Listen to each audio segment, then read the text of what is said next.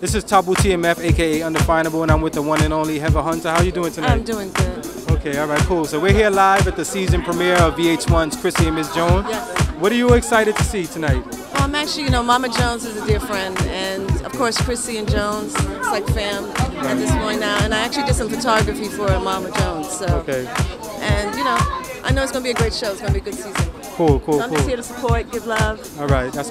So what are you working on? I'm actually a photographer, so I actually have two online magazines called hunterglam.com Okay. and hunter-man.com. And right now it's fine nude art photography.